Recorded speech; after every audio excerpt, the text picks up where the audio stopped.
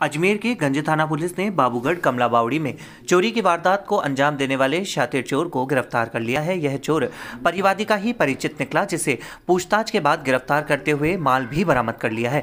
गंज थाने के एएसआई लालचंद ने बताया कि 2 जनवरी और 3 जनवरी को लीला देवी पत्नी प्रकाश कुमार ने अपने परिवार के साथ रामगंज रिश्तेदार के यहाँ गई थी। इसी बीच उनके घर पर ताला तोड़कर चोरी की वारदात को अंजाम दिया गया। इसमें सोने चांदी के जेवर और अन्य कीमती सामान लेकर चोर फरार हो गए। इस मामले की रिपोर्ट के बाद पुलिस ने टीम का गठन किया। इस मामले में बहन के लड़के पर ही पुलिस ने शक ज़ाहिर करते हुए पूछताछ की, जिसने अपना गुनाह कबूल कर लिया। पुलिस ने बहन के लड़के पूरनमल के बेटे राहुल रेगर को गिरफ़्तार किया है, जिसने मौका पाकर इस वारदात को अंजाम दिया। राहुल के घर तलाशी ली गई तो उसमें चोरी का सारा सामान भी बरामद कर लिया। पुलिस ने आरोपी को गिरफ़्तार कर लिया है, जिसके बाद उसे न्यायालय में पेश किया जाएगा। ये श्रीमती लीला पत्नी कैलाश जाति रेगर निवासी कमला बाबड़ी बाबूगढ़ अजमेर की रहने वाली है गली नंबर आठ में रहती है।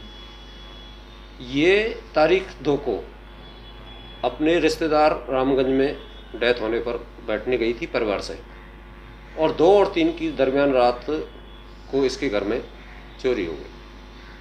और तीन तारीख की शाम को करीब नौ बजे जब ये वापस आई तो इसने रिपोर्ट दर्ज कराई कि कमरे के अंदर अलमारी में रखे सोने चांदी के जेवरात चोरी हो गई।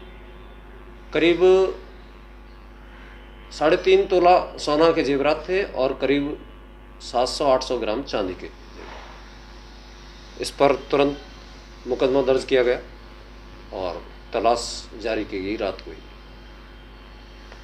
तो हमारे कांस्टेबल मनोज और कौशल सिंह ने अच्छी मेहनत की इसमें और सीआई साहब के निर्देशन में श्रीमान एसपी साहब के निर्देशन में, एसपी साहब निर्देशन में, एडिशनल एसपी साहब सीओ साहब के निर्देशन में टीम का गठन किया गया जिसमें सीआई साहब के निर्देशन में अच्छा काम किया। करीब सात आठ घंटे में ही इसकी खुलासा कर दिया गया।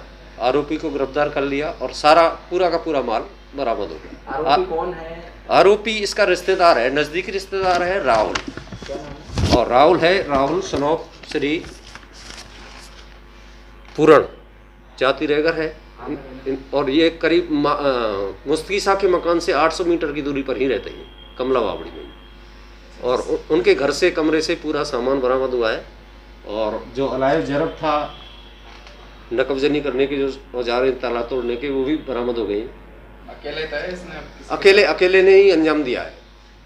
अकेले ने ही अंजाम दिया है और पूरा माल बरामद हो चुका है। आरोपी की मौसी थी जिसने घर चोरी की हाँ हाँ बिल्कुल रिश्ते में मौसी है और ये सगे संबंधी है।